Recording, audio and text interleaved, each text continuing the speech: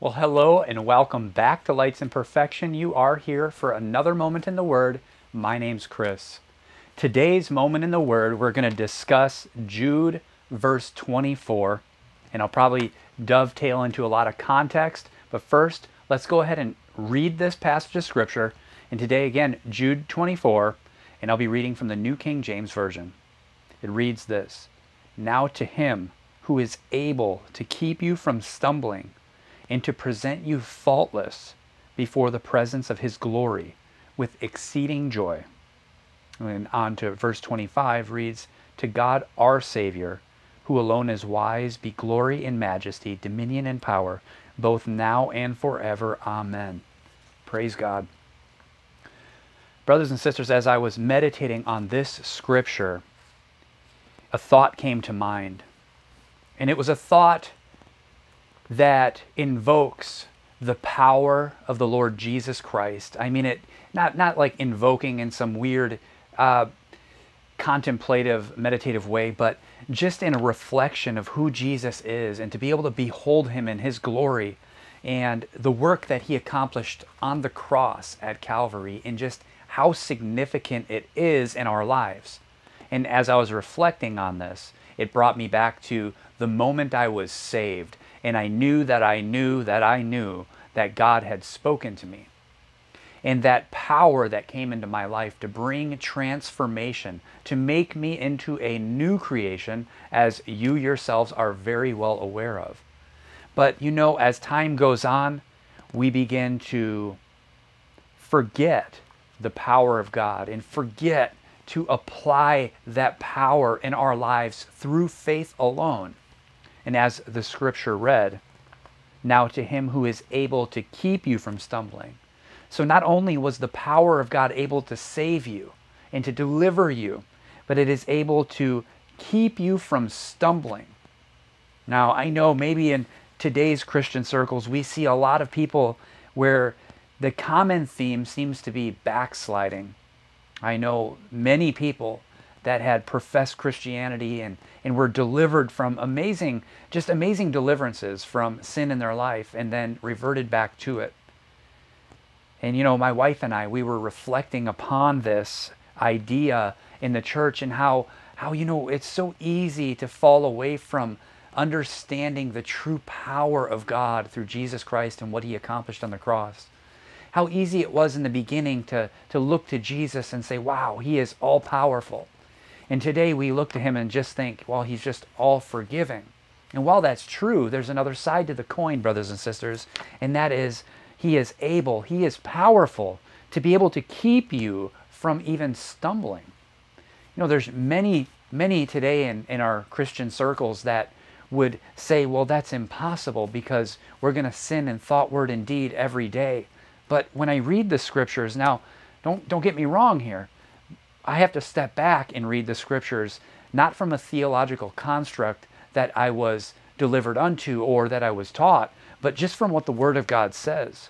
And the Word of God says, Now to him who is able to keep you from stumbling and to present you faultless before the presence of his glory with exceeding joy. Brothers and sisters, when I read that passage of Scripture, I recognize that the other side of the coin is the power of God to save you, but also to keep you. It's not just forgiveness. Forgiveness is a major component, but it's not to be separated from the power of God to transform. I reflect on all the biblical examples of people that, like the woman with the issue of blood, that said, If I just touch the hem of Jesus' garment, I'll be healed. You know, I wonder if we would take that same pose about the sin in our lives. I wonder, brothers and sisters, if we would be able to reflect upon the power of Jesus Christ and stop just coming to Him for forgiveness, but to come to Him for transformation through the power of the cross in our lives. Jesus made so many radical statements, such like, if anyone denies himself and takes up his cross and follows him, that we must deny ourselves rather, take up our cross and follow him. That if we don't deny ourselves, that we're not even worthy to be called by his name. And you know, when I reflect on that and I reflect on the sinfulness that is just been so engulfed in today's church, I, I wonder have people forgotten about the power of God? We're so ready to receive forgiveness, but are we ready to receive power to deliver us from the power of sin? You know, I think when we come to the cross initially, we've experienced that. We've experienced the magnitude of our sin in light of the magnitude of God's grace. And, and they just clash together in this, this heavenly power comes upon us and transforms us and makes us a new creation. But I wonder, are we living out of that new creation? Are we living from within that new creation? Are we allowing the power of God to keep us from stumbling? There's another passage of scripture that I like to reflect on in regards to this. It's something that the apostle Peter wrote in 2 Peter, the first chapter.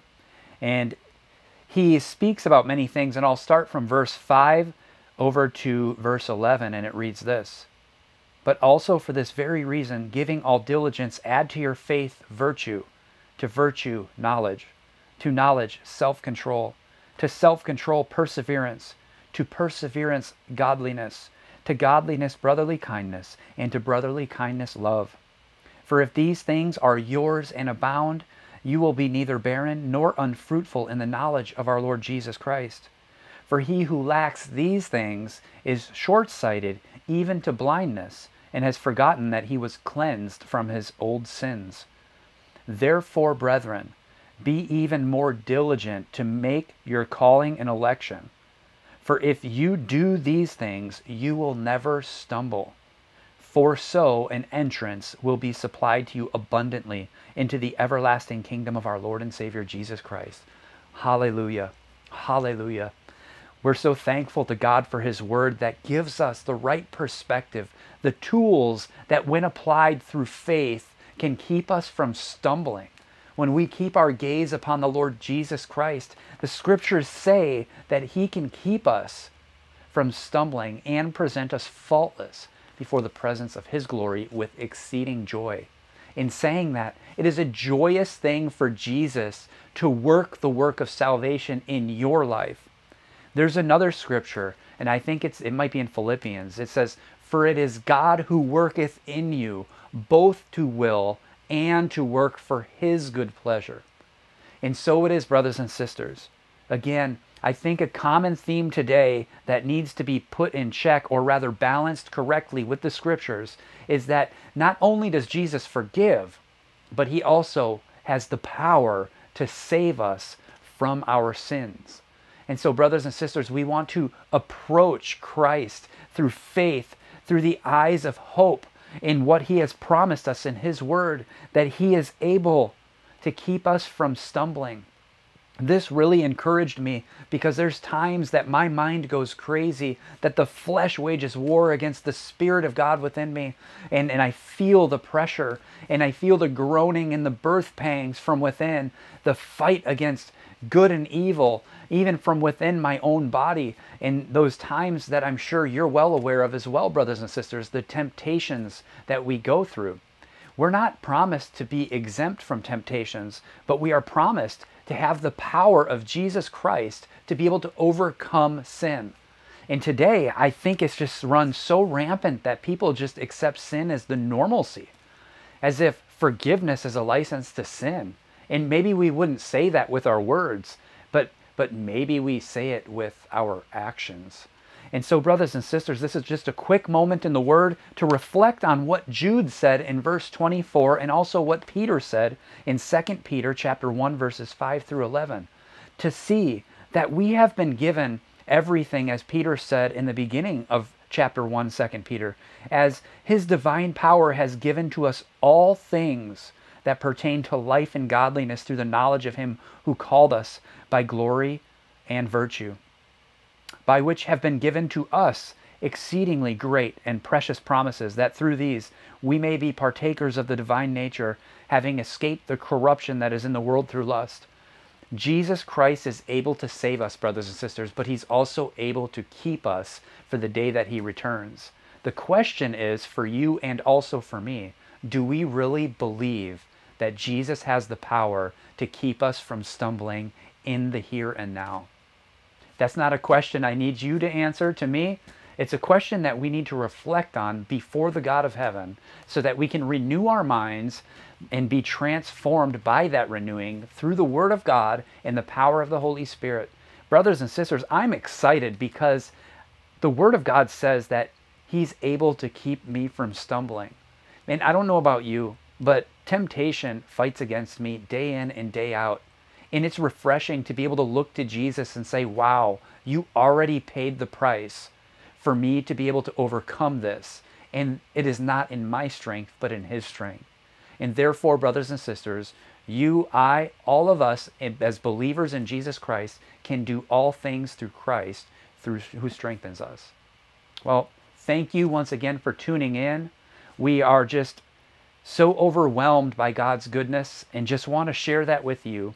And so we just pray that the Lord would continue to bless you and keep you that he would make his face to shine upon you, that he would be gracious unto you and give you peace. In Jesus' name, God bless you. We love you.